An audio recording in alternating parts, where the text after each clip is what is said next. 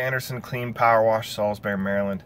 Uh, want to talk about taking care of your clients, um, especially the, the big ones, the, the ones that refer jobs to you or also with big um, overall projects. Um, I've got a friend in town, she makes amazing brownies. Uh, just ridiculously amazing brownies. She actually met me this morning uh, about 9.30 and dropped off the um, brownies in a cooler um, with a sealed lid and everything um, so that the brownies stayed hot uh, until about two hours later when I was able to drop off the brownies at a client's house um, or office. For this one, we were actually dropping off for a property manager.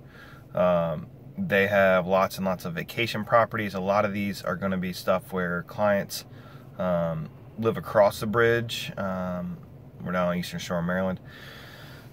So most times it's just a who should we hire to do X, Y, and Z, and they just tell them and get a price, and it's been fantastic. You know, they they've provided a lot of work for us this year, um, and it's been a, a quick paying client as well. Um, that being said, too, I mean, for some of the big jobs, we've actually got a couple of other uh, brownie orders in the in the um, in the chute to drop off. Um, one we're taking to a BNI uh, luncheon, and the other one to a commercial client.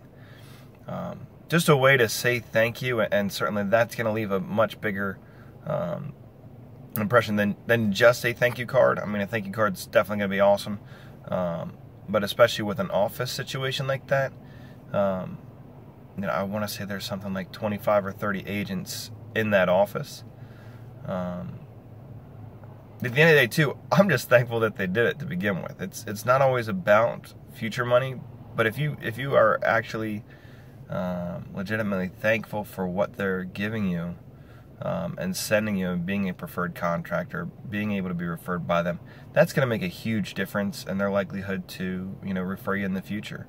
Um, so just just a little food for thought, and uh, hope that helps, guys.